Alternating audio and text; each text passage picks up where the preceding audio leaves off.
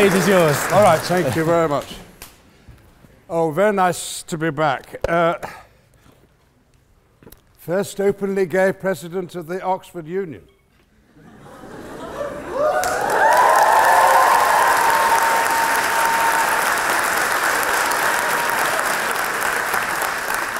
that, that, that's happened since I was here last.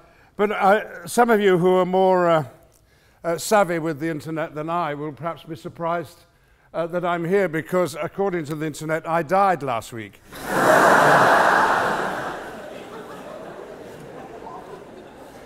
Dead from cardiac arrest.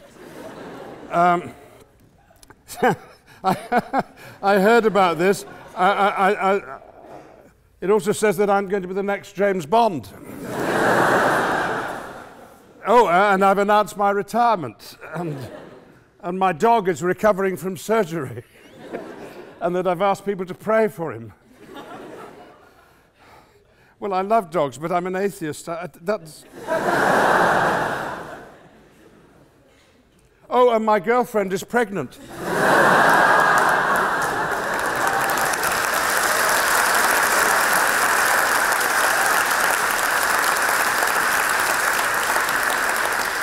and uh, for the second year running, I'm the sexiest actor alive.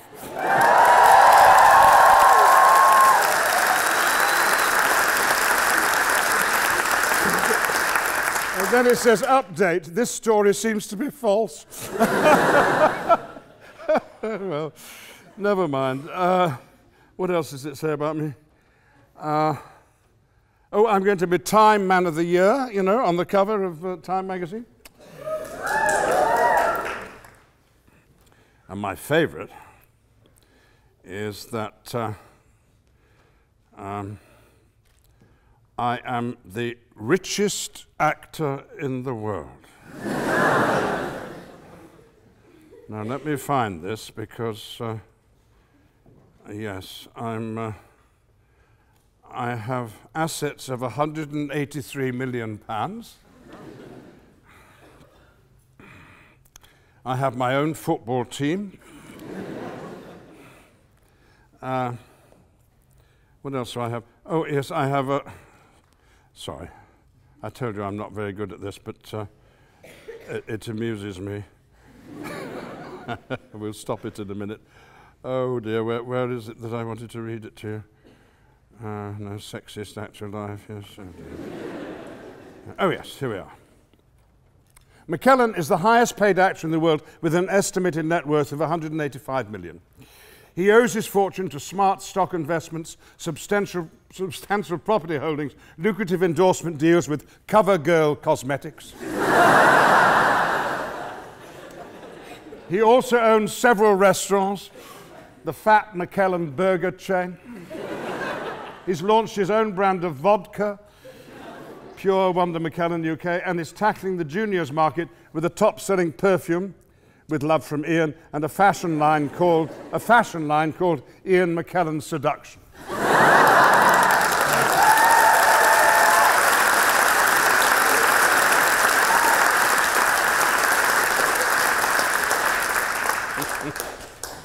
I was wondering what to say to you, so I, I looked at the last time I was here. And it's all on, uh, it's all on, on, on YouTube, thanks to uh, the, the, the union's uh, modernity. And, and I talked for 40 minutes about here uh, without notes, and I'm absolutely brilliant. There's hardly any point in me coming back. So if, if you want to know what I would like to say, just have a look at that. It's all there. Uh, so this time, uh, I think, have you explained what we might do? What, that you're talking for 20 minutes? Uh, yes, I'm going to talk to you for a bit, and then we're going to have a little conversation, and then I hope we'll have a conversation. And uh, that's probably better because uh, I can get to actually answer questions that you would like to have uh, answered. Uh, what have I been doing since I was last with you? Much of the same, really. I just played King Lear. This is real. the,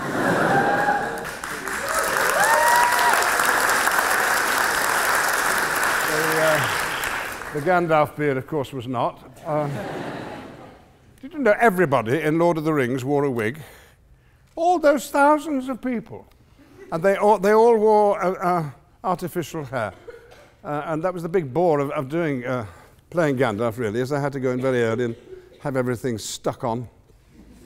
And it itched badly, as this does, actually. I don't recommend a beard. Um, I hope they don't come back into fashion. This is going quite soon. It depends whether we transfer uh, our production or not from Chichester. Um, yes, so I've been acting a little bit. I decided not to write my uh, uh, autobiography. I, I put nine months aside to do it, but I got so upset when I was writing about my parents before I was born, imagining their life just before the Second World War the, the in South Lancashire, where I was born eventually.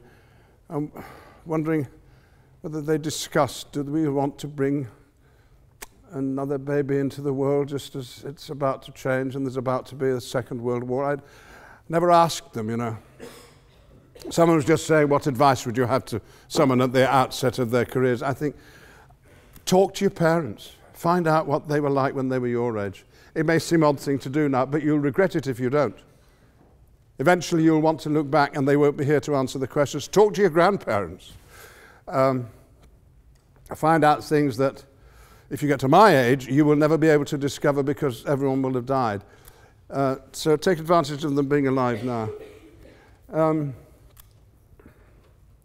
so I then eventually decided not to write the autobiography because I, I got so upset on behalf of my dear mother who died when she was 42 and my dad, when, he was, when I was 24, oh dear, it's a big regret in my life I didn't have a proper relationship with them as an adult, you know.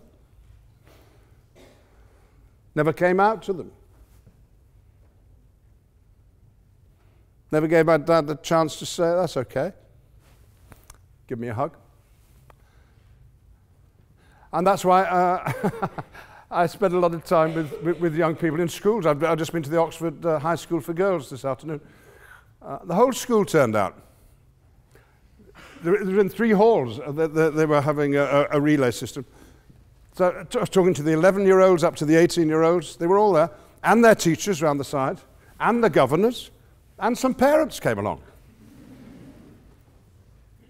And all I did was talk about what it had been like growing up and the sort of school I went to and how lucky they were to be living in a country with the best laws with regard to gay people, I think, anywhere in the world. Uh, and so I enjoy doing that, frankly, which is not acting. It's performing, but it's not acting, uh, as much as I do uh, pretending to be somebody else uh, uh, on screen or uh, on stage. Although I'll let you into a secret. I, I I discovered something in King Lear, which is uh, I'm going to have to develop in some way in, in, in other plays, I think. It's expected uh, in these post Freudian days that we live in that actors will, following the method, um, delve into the backstory of the character. You know. Now, it's an odd thing to do that with Shakespeare because Shakespeare wouldn't have known what you meant by character the play just happened, the action just happened. Uh, and to delve into the past isn't very helpful. I mean, King Lear, why did he not have his first daughter until he was 40 years old, you might ask? Why did he have his second daughter when he was 60 years old? They couldn't have had the same mother. Oh, he had two wives. Who are they? What they called? What were they like? Don't know. I used to wear two wedding rings for the observant, but it's no help if you're playing King Lear to know that you had two wives. It's nothing to do with the story. And I think what's a good way of approaching Shakespeare, whether you're studying him, reading him, or acting in him, or, or going to see him in the theatre, is to say, once upon a time, there was an old king, and he had three daughters, and he loved one best of all. And he decided to retire and he divided the kingdom into three. And it all went wrong. So, always in Shakespeare, you're looking to the next scene. You're always moving forward. You're moving to the end of the line. Uh, and looking back is no help uh, to anybody. So, this time, for the first time in my life, I didn't think, uh, what sort of person is King Lear? Does he have a limp? What's his heart like? What's his favourite food? These are the sort of questions I often ask. The, the audience never get to know the answers, but I know them, so it sort of comforts me that I'm being real. But I decided on this occasion not to be real, but to say the lines. That's all. And you know, if you say the lines and live in the moment, and don't say to yourself, why am I saying this, but rather, how am I saying it, and will people understand it? Oh, am I furious? That's the interesting thing. It came from a, a suggestion the director made. He said, surprise yourself. Don't know, which is the normal method, the inevitability of doing what you do because you know the backstory. Surprise yourself. And it really worked. And it allowed the audience to write the play, oddly. And people said to me, I loved the moment where you remembered your fool, the dead fool, King Lear's best friend at the beginning of the play, who vanishes halfway through. And I said, well, What do you mean? And they referred to something that I'd done that didn't mean that to me, but did to them. In other words, they'd written the play a little bit. And there was a heightened attention uh, from, from the audience that I hadn't noticed before. Mind you, we were doing it in a small theatre, half the size of, of this uh, debating chamber. So I just passed that on. That's how I played King Lear, and I had some of the best reviews of my life for acting, but I wasn't acting really. I was just saying the lines. Uh, so I'm going to try and do more of that. Uh, and I don't know whether it would work with lesser writers. It probably wouldn't. Often with plays, if they're not by Shakespeare or by Anton Chekhov, the actors are often having to fill in a few of the gaps, you know, lead the audience over the chasms of nonsense that uh, lesser playwrights uh, land you with. but as I may have said before, and I often have, that when I die, it's going to say on my tombstone, uh, here lies Gandalf, he came out.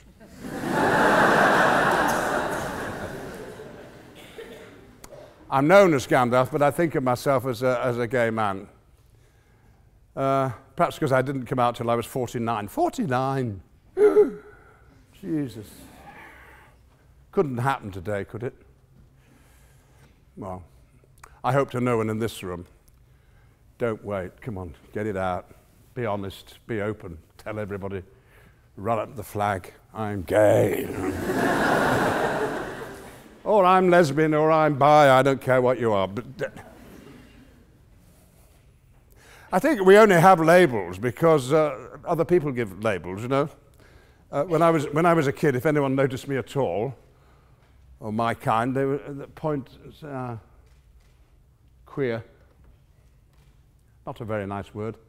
Not for a young person to cope with. Queer. What can you do about it? And uh,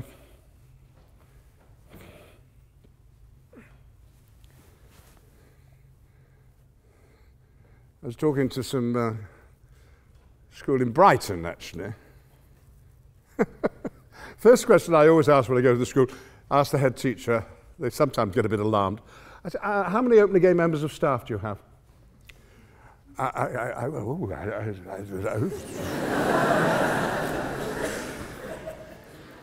this very confident head teacher said 43.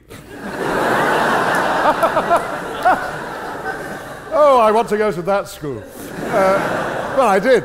And I said, and how many openly uh, gay students have you got? 125. 125 kids know what they are. Oh, yeah. Oh my God, what a way to start your life. But talking to a little group afterwards, I was sitting opposite a, a tough little girl, a boy called Finn. Short hair, jeans, sneakers, And apparently, six months before, he'd been a tough little girl called Finn. He was going through that journey of gender identification and dragging the whole school with him. Well, how much better is their lives going to be when they know, you know, in their early teens that they have a friend like that? This is the new United Kingdom that I could not have imagined when I was at school, where to be gay was to be, well, it was a word we didn't know. To be queer was to be ostracized and therefore not, never to be talked about.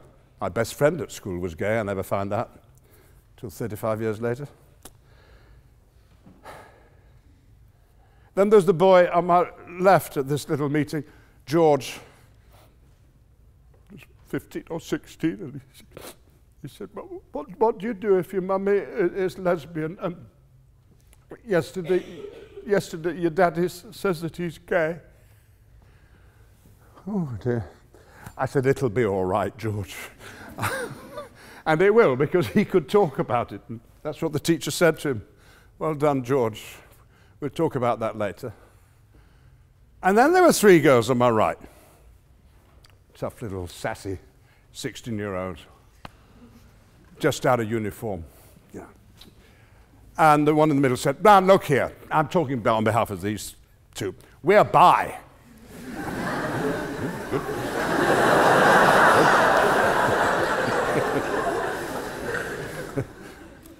Good. But she said, look, if I'm, if I'm with my boyfriend, presumably I'm, I'm straight, am I? And then if I'm with a girlfriend, presumably I'm lesbian. We don't want these labels. And a light went on in my head. Of course. Why the, do we have labels? The only label any of us needs is our name.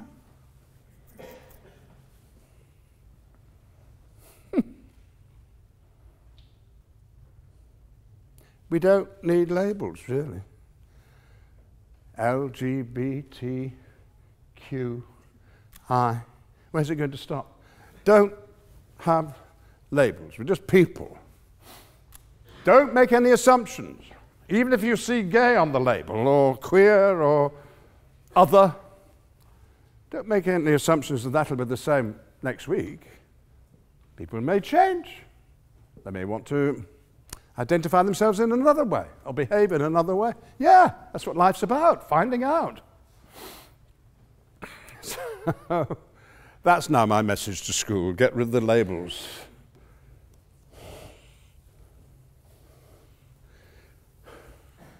But I've, I, I get so excited to be British because it's our country that have some of the best laws in the land protecting the rights of everybody to be whatever they are and put whatever label they want and not to be discriminated against. It's against the law to discriminate against people on grounds of sexuality in a state maintained school. Bullying on those grounds is illegal, has to be dealt with. And teachers who spent a whole generation of their career following the obscene rules of Section 28, which said you may not discuss sexuality positively in a state maintained school, that is past.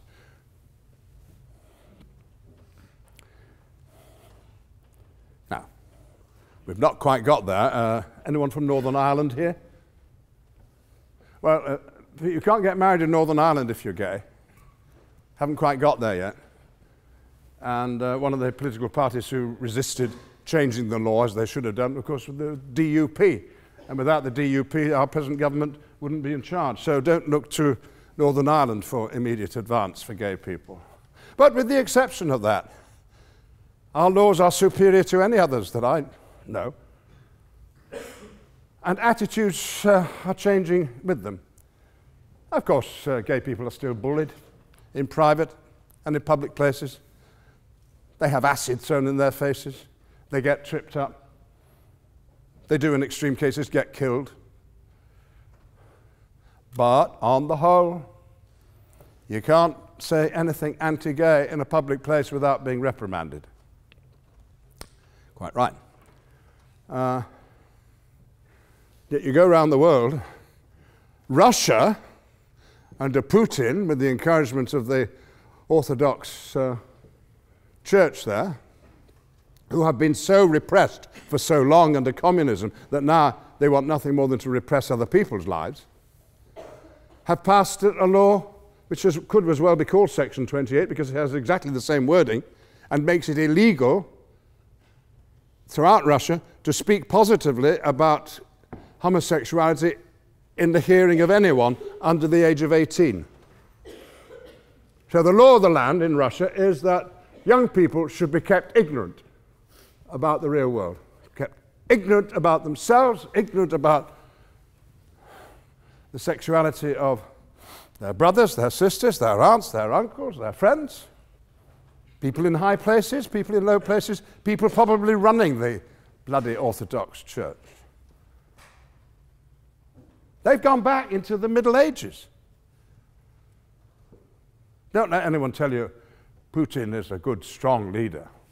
Strong, maybe, good. I just come back from India. They're trying to change a, a, a law which uh, disadvantages gay people and says that uh, we're inferior and we shouldn't be allowed to do certain jobs and so on, so on, so on. And uh, some politicians said, McKellen, don't come over to us and tell us how to run our country. We have our own in Indian laws and uh, don't come over with your Western attitudes. And you say, no, it's not your law. It's a law that the British Empire imposed on you and left behind. Before the empire, there were no anti gay laws in India. We introduced them. I said, I've come here to apologize and take it back.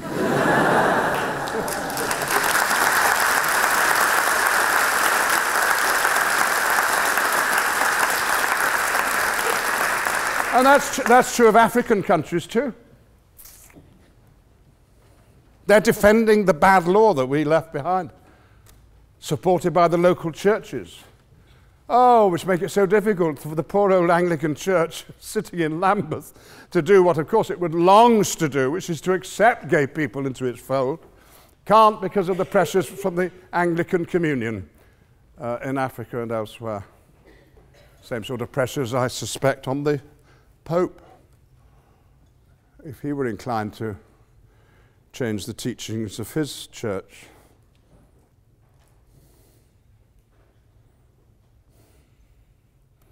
But I was just asked earlier what was the, what was the most, the best moment in my life or something. Well, uh, I'll tell you about one of them.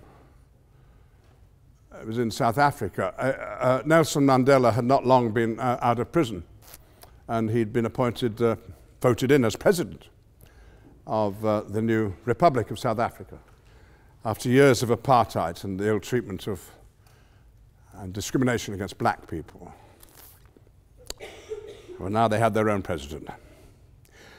And a new constitution was due, and there was a committee formed to try and get pushed into the constitution uh, a, a, rule which would say it would be against the law to discriminate against uh, on the grounds of uh, sexuality. and they needed a bit of money to, to do their campaign. And I, I went over and I was doing a one man show to raise a few funds. And one day the organizer said, uh, Would you go and lobby the president? What? Would I go to Johannesburg on my day off and talk to Nelson Mandela about non discrimination? Well, I said, not on my own, I won't. No. So I went with Phumzile Mthethwa, who's a wonderful black uh, um, law student at Wits University, uh, and a friend, uh, now dead, alas, uh, the late Simon Nkoli, who'd been a freedom fighter under uh, the direction of the ANC, uh, but was an openly gay young man. And the three of us went to Johannesburg, and we were invited to leave our guns uh, at the reception desk and any live ammunition we had with us. And up we went in the elevator, and we were told the president would see us, and in we went. It was shocking how old he was. Uh, the hair was white now, uh, half blind in one eye as, the, as they uh, digging the, the lime in, in, in Ron Robben Island. Uh, his ankles weren't at their best, but he was wearing lovely striped socks, I remember. Bit of a dandy. Come in, come in, sit down. We talked about the weather. I'd been warned that he might start giggling once we talked about uh, homosexuality because he found the whole subject a bit funny. Of that generation. But eventually we, we got around to talking about it and explaining about it. I said, So, do you think when we leave the meeting we can tell the media that you support this uh, new law of no discrimination against gay people in the Constitution? He said, Of course. well, of course. You don't spend all your life, you don't pick up arms, you don't stay in prison for 27 years in support of the idea that white people and black people should be treated the same, and then say of gay people that they should be treated differently. Of course not. And that was my little contribution to history, because uh, South Africa is the first country in the world to have it in its constitution that you may not discriminate on grounds of sexuality. Out of the misery of apartheid came that hope and that. Uh, beacon for change, which the rest of us are gradually getting around. South Africa was there first. And, uh, you know, in the darkest days, when everything seems impossible, when you think, can it ever get better? Yeah, it can. It can. Um, but it takes time. Our foreign office is terribly good. I've just been staying with the uh, ambassador, 47 year old single woman, straight, in Rome. And she had a reception for me there. She invited local gay activists, and we, we spoke about this and that and the future. Conducted by our ambassador on our behalf, because one of the things she's most proud of and can sell Britain on is, is not our not our politics, but our acceptance of difference, acceptance, celebration of diversity. And it's part of her job to sell our country on those, uh, on those grounds. So I, I know I'm Pollyanna. I, I, I, think it's always, go- it's always going to be better. But I think on the evidence, uh, it is. Thank you.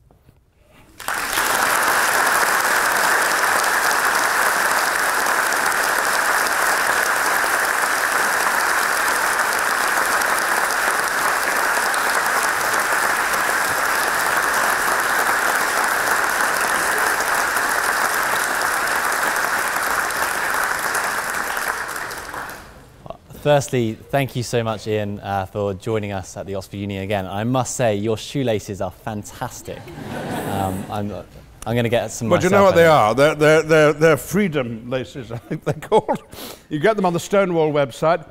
They're, they're very long, that's why they're double knotted, because they're actually football boot laces.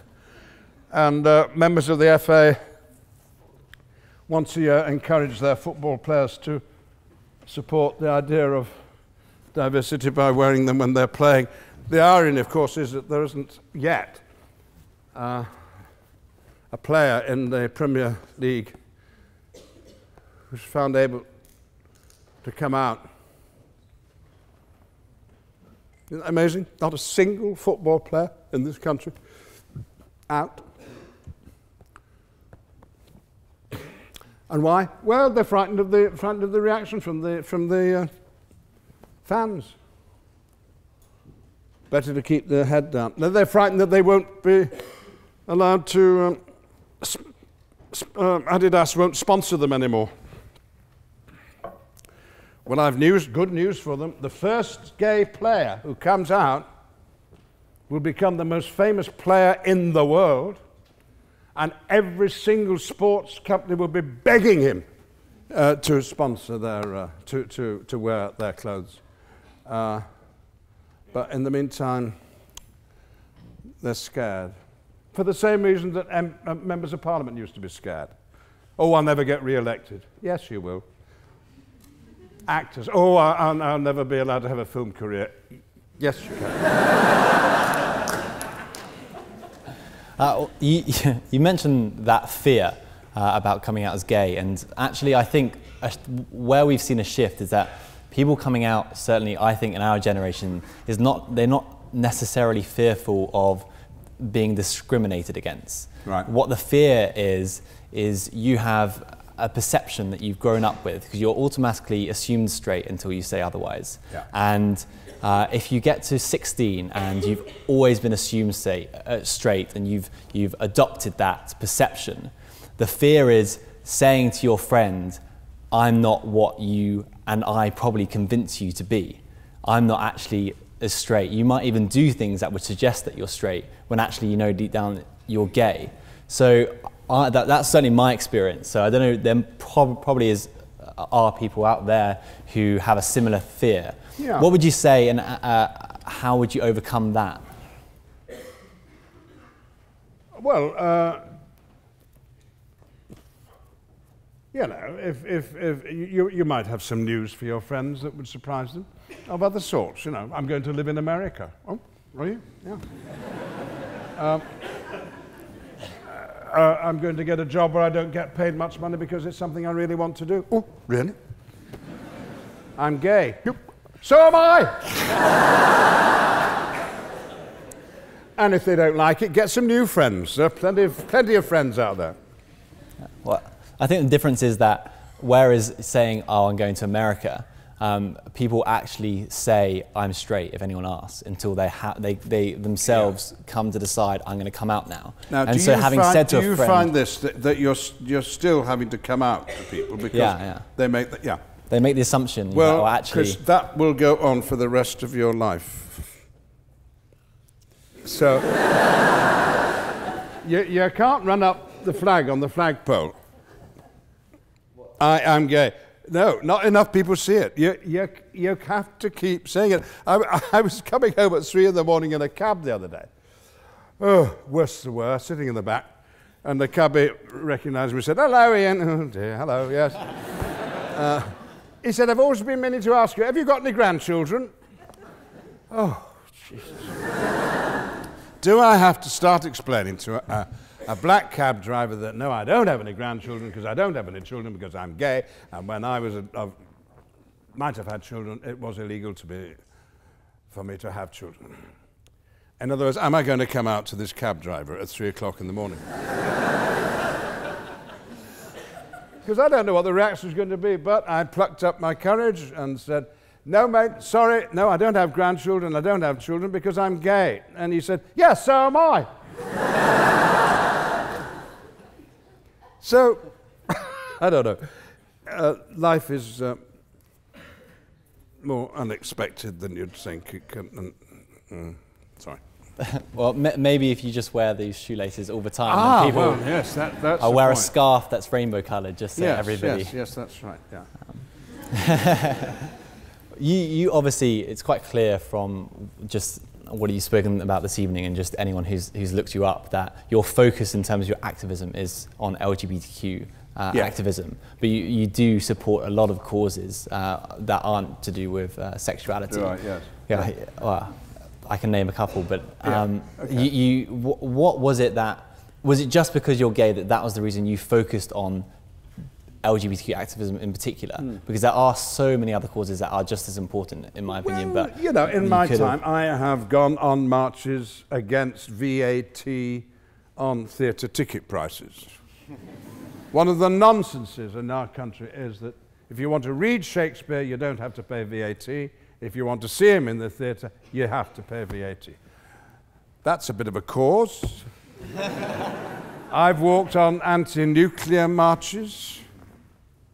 I've written to my MP on various matters. I'm a vegetarian. I, I uh, on the whole, vote Labour. Uh, uh, I'm a pacifist. On the whole, I, I would refuse to serve in the armed forces if it was a requirement. But I don't go on about those things very much, except privately and to my friends. The, the only two issues that I really talk about are on, about um, the business of acting and, and, and, and uh, related matters, uh, and being gay. I think that's enough for me because I, I, I can speak with authority. You can't tell me I'm wrong on, on gay stuff. I'm right. and and, and there are very, very, very few things in my life where I can say, yes, this is it. I can't decide whether to have a boiled egg or scramble it, you know. But on gay stuff, I know I'm right. So I, I think that's my contribution, uh, my, my, my, where my experience is, is, is valid. And elsewhere, I think, well, my opinion's as good as anybody else's, really. One thing I, I have to ask your opinion on. Um, recently, um, Kevin Spacey um, revealed that he was gay, um, but did so in, in, what a lot of people have criticised as, as, bad circumstances.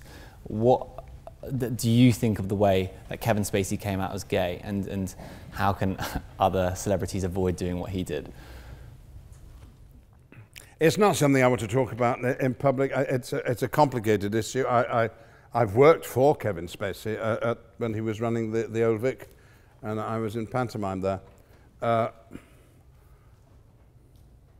I think it's a matter of celebration when anybody comes out, because their life is going to be better. But the circumstances in which he chose to do it are, uh, I suppose you could say, reprehensible, because it, it linked uh, alleged uh, uh, underage sex with uh, a declaration of, of, sexuality, and that's murky and, and, and not desirable.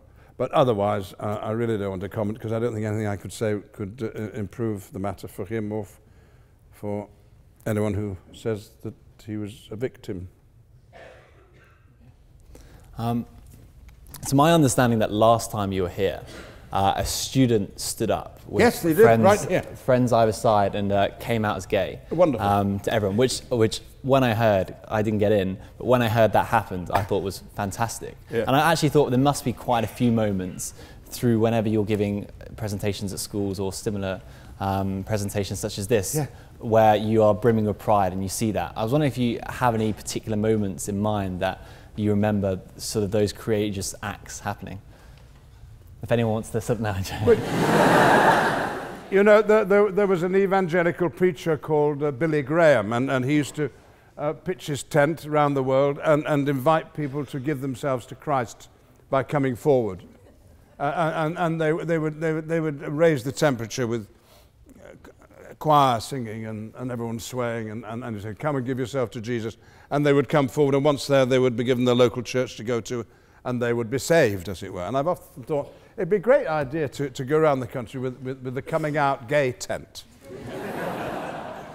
and Elton uh, and I and Clare Balding would all be there at the front saying, Come on, come out, come out. and people would come forward. And of course, once they'd done that, they couldn't go back in. We'd have got them for life. and that was at a time when it was important for people to come out because we wanted to show the rest of the country that there were a lot of us. There was a time when there only seemed to be about 10 gay people in this country. and I didn't get to meet all of them. Um,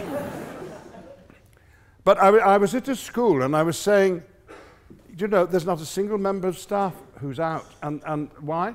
Because, like the footballer who's frightened of, of the reaction of the, of the fans, like the MP who thinks he or she will never get another, never get elected back into Parliament. They're frightened of what uh, the students will think. They think their authority will go. They think you'll laugh at them. And at that point, a young man, a young man put his hand up at the back. I thought he was a student, but no, he was a young teacher. He said, he said, uh, I teach here and I'm gay. There was that silence. And they all turned around and they started to clap and cheer, and his life will never be the same again, and nor will that school. And I don't think he'll have any problem at all. And that was, that was uh, thrilling. He, he was obviously ready. He was ready, and, and, and the event just pushed him over into uh, joining the human race, really. Yeah. That's that's wonderful. Um, I don't want to take up too much of time asking questions. I know how many people are in here, and I guess they'll probably ask about acting and probably Lord of the Rings as well. Oh, yeah. So I'll, I'll leave the questions then. So now I'm going to open up uh, to the audience for questions. So if you have a question, raise your hand nice and high. And more importantly, wait until the microphone uh, comes to you. Yeah, let's start with you in the purple scarf. Yeah. Hi, it's an honor. Um, I do want to say, I guess it happened last time, but I am bisexual, and I think it's the first time I've ever said it in public. Um, so I don't know, I just thought it'd be really great.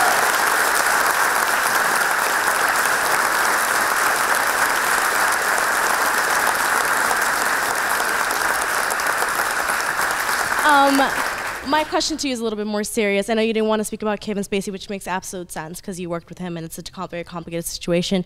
But I do, you know, you're an actor and you've been in the business for a very, very long time. And, um, I, you know, the.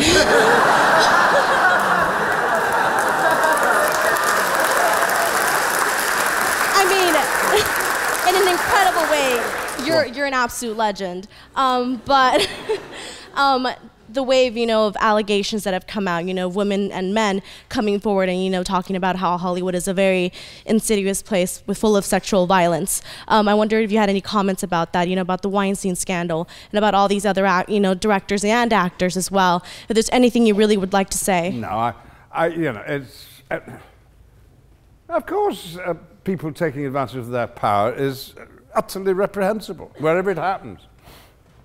Within the family, father and his children, awful lot of that. Not, thank goodness, in my family. In the workplace, doesn't have to be the theatre, doesn't have to be Hollywood. it can be the local shop. It can be Parliament. I, I, it won't do wherever it happens, and uh, uh, people must be called out. And it's very, very, uh, sometimes very difficult for victims to do that. And I know what's particularly painful to some people who were abused. I didn't talk about it and, and never got it out of their system and, and, and, and feel it maybe decades later. When they read about abuse in the newspaper, it all comes flooding back. And psych, uh, psychiatrists will tell you that, that, that their, uh, their books are full of people who are hurt by revelations of other people's experience. I hope we're going through a period which will sort of help to eradicate it altogether. But just one tiny thing from my own experience. Uh, when I was starting acting in 19, early 1960s, uh, the, the director of, of, of, the theatre I was working at showed me some, some uh, photographs he got from uh, women who were wanting jobs. They were actors. And some of them had, I think these were the initials, uh, uh, uh, at the bottom of their photograph D R R. D R R. Director's rights respected. In other words, if you give me a job, you can have sex with me. That was commonplace from people who proposed that they should be a victim. I mean, madness. DRR. Directors' rights respected. So people have taken advantage of that and encouraged it, and uh, it absolutely will not do. I, I just assume nothing but good can come out of these revelations. Uh, even though some people, of course, get wrongly accused, uh, th- th- there's that side of it as well. Uh, honesty, honesty, honesty. Mm. Anyway, congratulations. Hello, thank you.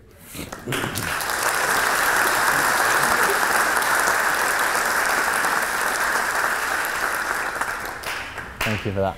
Um, yeah, let's go to you in the dark, dark hair. Yeah.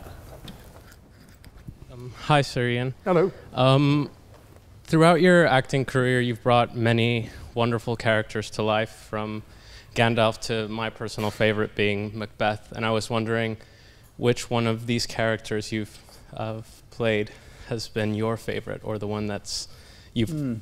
like it the most? isn't, you know, always the, the part. It, it, it, it's the play, it's the production, it's the filming, it's the other people who are in it, it's the stuff that you learnt about yourself and about the character. Uh, and if I say that that, that production of um, Macbeth with Judi Dench that came out of the Royal Shakespeare Company, and you can still get on v- uh, DVD. As a, nine, oh, I, I don't get any money out of it. 1976, we did that. I would think that's one of the things I'm most proud of, but not because I like the character of Macbeth at all. But, uh, uh, you know, I'm extremely lucky. I, I suppose I've, I've played about 250 or so parts. And only two of those jobs do I regret. I learnt something from all of them. And that's been always been the basis of, what I wanted to do. In, in picking a part, uh, will I learn anything from it? Can, can I get better as an actor? I, have just had that revelation I was telling you about with, uh, with King Lear. Um, yeah, Macbeth will do. and Gods and Monsters for a film. Uh, that, that, uh, if you don't know that, I do recommend it. Very good film about uh, Hollywood in the 1930s. Yeah.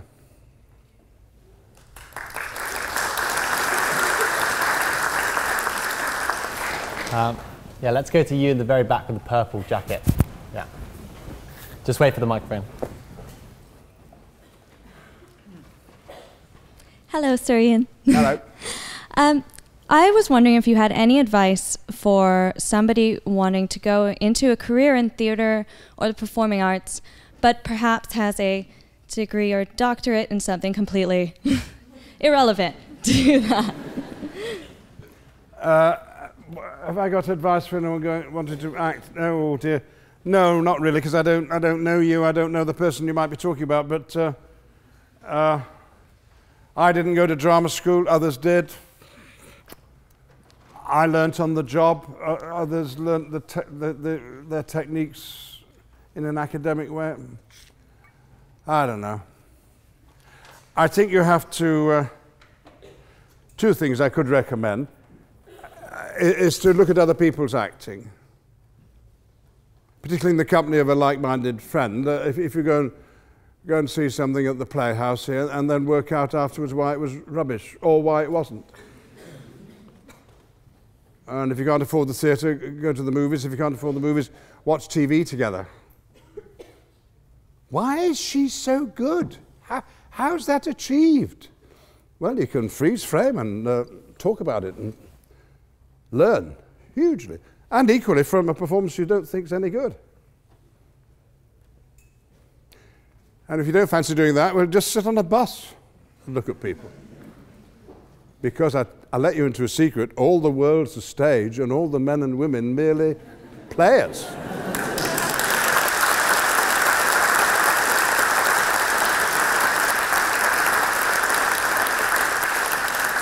you see, we're all acting. That's what human beings do. And Shakespeare knew that. Life's but a walking shadow, Macbeth says. Life is but a walking shadow. There's a phrase in, in British literature, walking gentleman. It, it's, it's, it's a person who plays odd little parts. Life's not even a walking gentleman, life's a walking shadow. A poor player that struts and frets his hour upon the stage. That's what life is. He's constantly using that uh, metaphor, Shakespeare. It's, it's, it's one big gift to us, is to define us as actors. Because animals don't act. A leopard could change its spots, but it's still a leopard. That's the point. And we, we I mean, when you got up this morning, you decided what costume you would wear. Oh, should I dress up? Oh, no, I'm going to a lecture. No, I'll dress down. but then I'd like to wear something tonight. All right, I'll take a little bag with what? A costume in it. How should I have my hair? It's all. Didn't you find I did when I was at school. I spoke with a different accent at school because the boys had a stronger northern accent than we used at home. There is language that you will use with your friends you wouldn't dream of using in front of your grandmother. You're able, we are so adept at being different because we keep showing different sides, a little bit of ourselves. And the only person who ever gets to know you really well is the one you love, with whom you do not act, or rather, you act together. And uh, that bit of philosophy comes directly from Shakespeare. So, uh, studying acting in order to become a professional actor, you're doing an Im- intensely human activity. That's, uh, that's why we like actors. They're so human and frail. Oh, dear.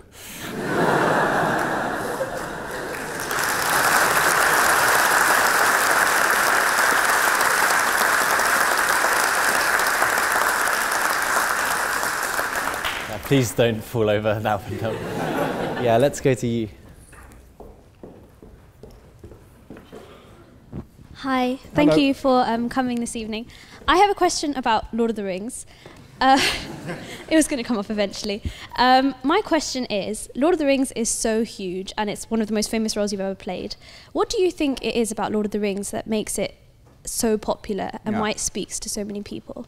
What is it about Lord of the Rings that makes it so popular? Well, a local author, well done, Oxford. Um,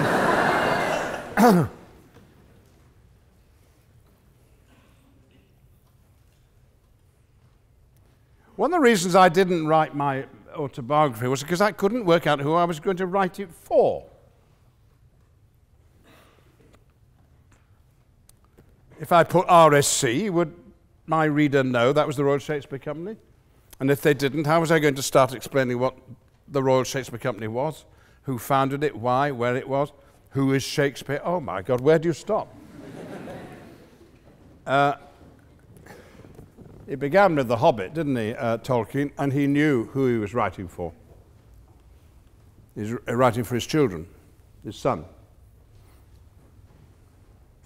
And I think you can tell that not just in The Hobbit, but in the, in the sequel, the, the greater book, Lord of the Rings, uh, the adventure is one that he knows is going to appeal to uh, his, his young reader. And uh,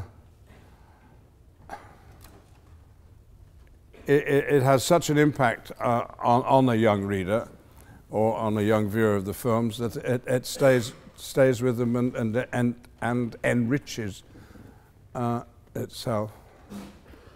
Uh, I, I, I, I, I- Tolkien is, a wonderful writer, and, and he's as adept as Charles Dickens, I think, in, in, in sketching out a scene. He can, with the minimum of words, tell you where you are. And, and you may be somewhere absolutely fantastic. Whether that's achieved in the films is uh, uh, uh, up to you to, to judge, but uh, I suppose it is that it's all about life and a view of life and a, a concern for good and evil. How could that not be engaging? Um, it seems to be about something that matters, uh, and yet it's in a strange world that is familiar.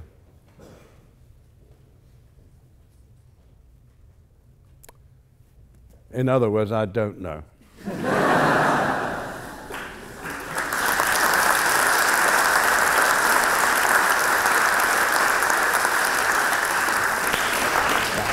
Let's come to you. Yeah. Hello. Um, firstly, uh, as a gay South African, I'd like to thank you for speaking to our former president because my life could have been quite different otherwise. Uh, my question is simple but somewhat personal. Do you still have your tattoo from the Lord of the Rings films? Oh, yes. Okay. Do you want to see it? Uh, he says, "Do I still have my tattoo?" Well, well, you can't have it. Well, you can have a tattoo removed, can't you? Uh, no. Well, I'm not going to show you now. It's, uh, uh, there's, um, it's, it's there. All the members of the fellowship, nine of us, went, went down to um, uh, uh, a tattoo artist in Cuba Street in, in Wellington. There, there, are a number of them. A lot of tattoos go on in, in New Zealand. Maori, in particular, love. Look gorgeous. Uh, we, we just had the word for nine in Elvish. I don't know what that word is actually. and, and, and when I look at it, uh, infrequently, it's upside down. And it seems to spell Gucci.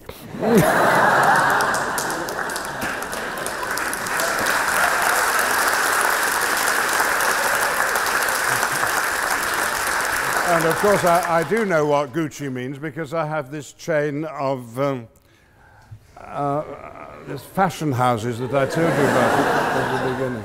Whereabouts in South Africa? Johannesburg. I'm going to have Christmas in uh, Cape Town. Mm. I mean, we're sort of, you know, enemies. It's like Oxford and Cambridge. I know. Great, thank you for that question. Um, yeah, let's go to you. Yeah, yeah, you. Yeah. if you just wait for the mic. You just wait for the microphone. I don't know. Oh, wait, is, I, was, I was looking at this person just behind the blonde girl in that corner. Yeah, stand up, just so I know. Yeah, yeah. Ah, Thank you, you for coming this evening. Um, I was wondering, you've talked about this wide variety of roles that you've had, um, you've done, but is there any role that you really want to play in the future, or that you'd like to actually revisit with a new perspective? Mm. No. I've, ne- I've never had a list. I mean, some people say, I want to play Napoleon. Do you? Well, yeah.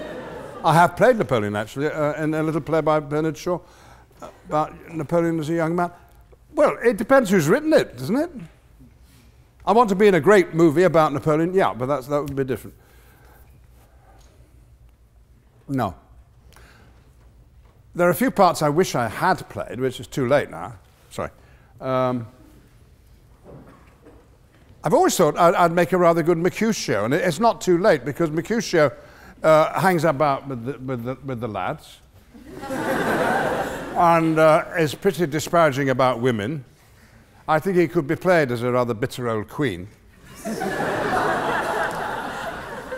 and unfortunately, my own mate Derek Jacobi got there first. He's just played him uh, as exactly that uh, in Ken Branagh's production in the West End, so I've missed my chance for that.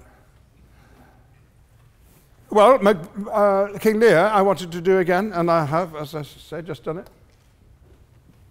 No, the thing I most want to do next is what I've always wanted to do, is, a new piece of work. Uh, and, every film you do is a new piece of work, because on the whole, films are always new scripts. But uh, if someone could uh, write me a wonderful play, not, not a one-man show, uh, yeah. I don't have, I don't have much time left, you know. I, I don't know if you, can you imagine what that's like? People don't warn you about getting old. They don't warn you that when you get to my age, you talk about death, as I've started to do. As I would do if I were in the company of people of my age. How are you? Oh, dreadful, dreadful. Can't see anymore. Oh, really? Worried about where you're going to live? Uh, anyone got anyone to look after you? No. And then I come to do King Lear for the second time and realize King Lear never stops saying, I'm old. well, he is, he's 80 odd. I'm old. And when you're old, you think, oh, there's not much future left, and uh, what am I going to do? So it, it would be good for me to think about what I would like to do because it would keep that part of me uh, young. Sorry to be depressing, but it's, uh, it's a fact. Death is a fact of life. It's going to happen. You don't believe it, do you? and, and, someone said to me, Is it true that the first person to live to the age of 200 is already alive? Oh, wow. Why the hell would you want to be 200? But um, yeah. Of course, what you want to do when you're, when you're old is be in the company of young people because inside you, you, you feel the same, really. It's, it's, it's, so odd when you look in the mirror. Who the hell's that? mm. Sorry.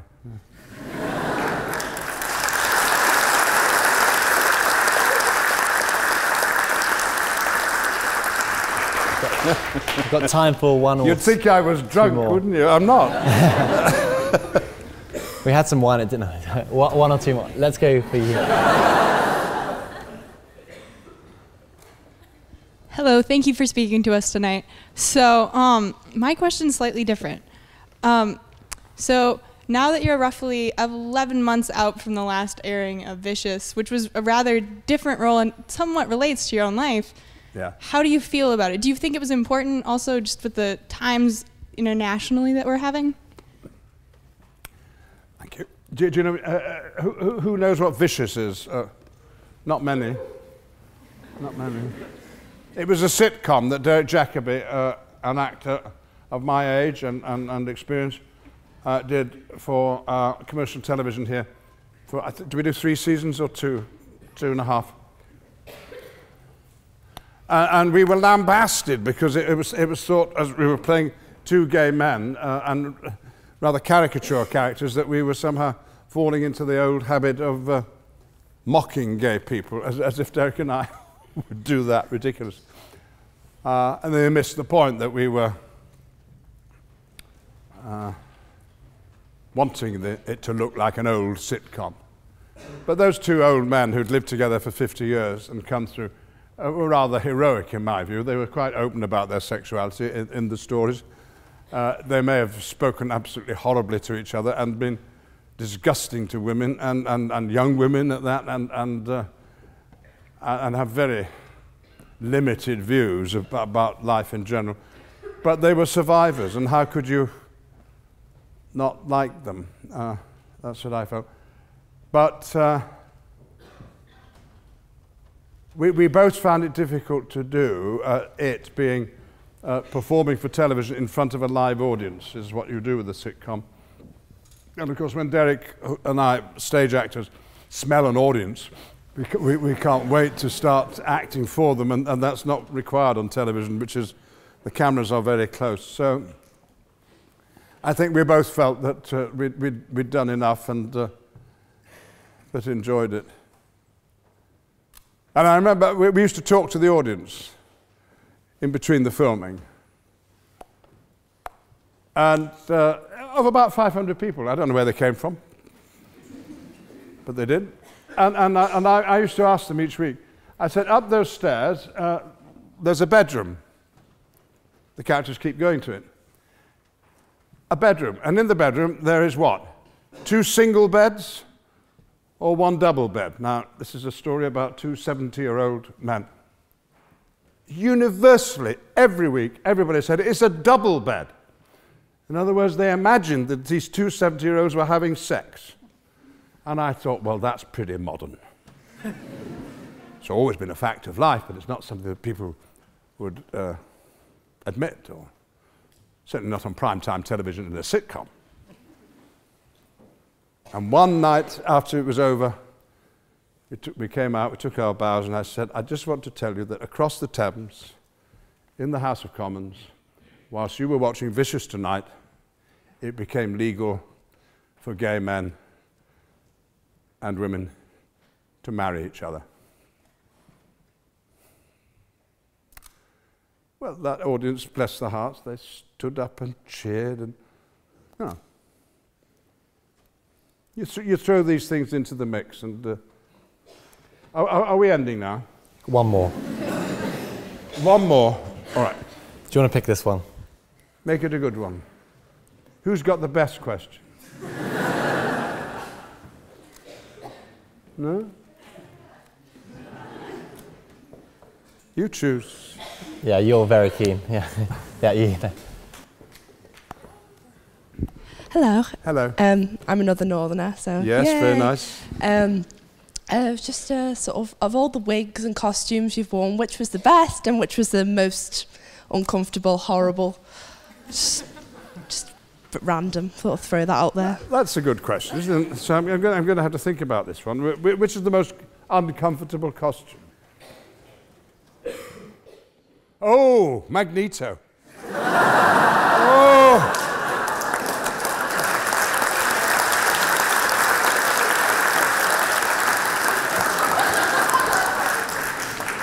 It was, all, it was all little bits and they all stuck together and, and, and oh, you could hardly walk or move in them. Dreadful helmet. Silly looking helmet. Uh, Gandalf, fancy free, you know, just, just flowing around. But I wonder if you noticed in, occasionally when the, the skirt uh, blew in the wind that you could see the unmistakable shape of uh, a book, which was the uh, three volume edition of Lord of the Rings, which I always kept uh, in the costume uh, to refer to and say uh, to Peter Jackson, I've just been reading through the scene we're going to do today. There are a few lines of Gandalf that have been cut here. I wouldn't.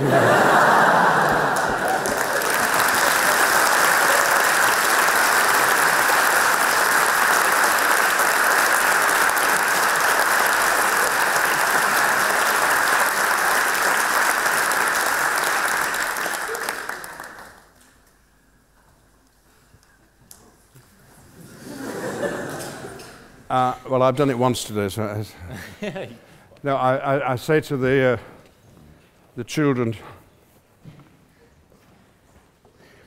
it would be true of you. You you know, if you have, when you have examinations, you have to work very hard for them. You have to prepare for them. You have to do your revision for them. You have to take them seriously. It's going to change your life if it all works out. But if you don't do your revision, if you don't work hard, then you shall not pass!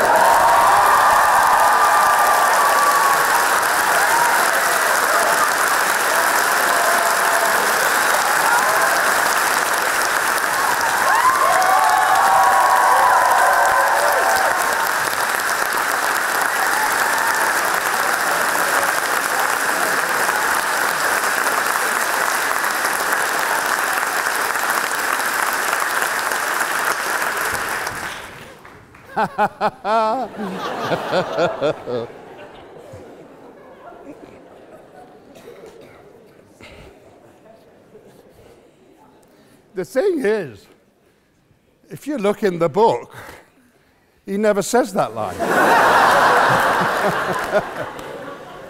he says, You cannot pass. I got it wrong. and it doesn't matter. But here's a speech that does matter, and uh, it's by Shakespeare.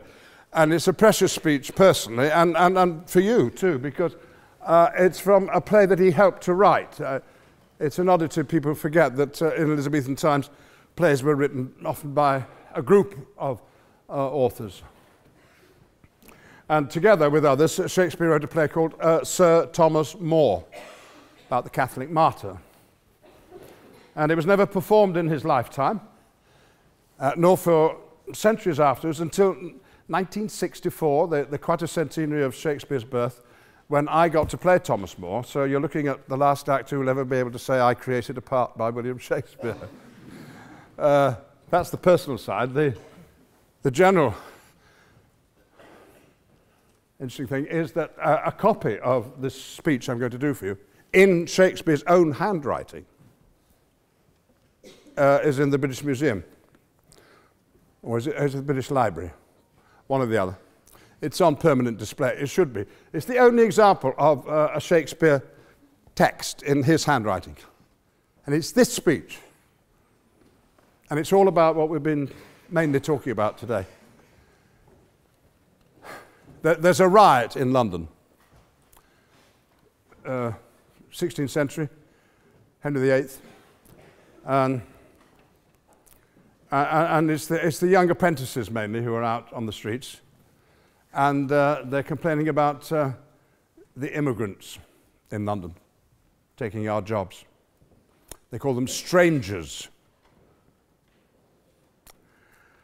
And they're causing a fuss, and uh, Thomas More, um, a lawyer, is sent out to put it right, bank down the riot. May Day riots. And uh, he does it in two ways by telling them that you, you, can't, you can't have a, you, you can't shout like that in public. You, you can't cause a disturbance. You can't be violent. It's against the law. And then, being by Shakespeare, he says, and you can't do it because be humane. So, someone in the crowd shouts that the strangers should be removed, and Thomas More uh, says, Grant them removed. And grant that this your noise hath chid down all the majesty of England. Imagine that you see the wretched strangers, their babies at their backs, with their poor luggage plodding to the ports and coasts for transportation. And that you sit as kings in your desires, authority quite silenced by your brawl, and you in wrath of your opinions clothed. What had you got? You had taught how insolence and strong hand should prevail, how order should be quelled. And by this pattern, not one of you should live an aged man, for other ruffians, as their fancies wrought with self same hand, self reason, and self right, would shark on you, and men like ravenous fishes feed on one another. You'll put down strangers, kill them, cut their throats, and lead the majesty of law in Liam to slip him like a hound. Oh, desperate as you are, wash your foul minds with tears, and those same hands that you, like rebels, lift against the peace, lift up for peace. And your unreverent knees make them your feet to kneel to be forgiven. Say now, the king, as he is clement, if the offender mourn, should so much come too short of your great trespass as but to banish you, whither would you go? What country, by the nature of your error, should give you harbour? Go you to France or Flanders, to any German province, Spain or Portugal, nay, anywhere that not adheres to England? Why, you must needs be strangers. Would you be pleased to find a nation of such barbarous temper that breaking out in hideous violence would not afford you an abode on earth whet their detested knives against your throats, spurn you like dogs, and like as if God owned not, nor made not you, nor that the elements were not all appropriate to your comfort, but chartered unto them, what would you think to be thus used? This is the stranger's case. And this your mountainish inhumanity.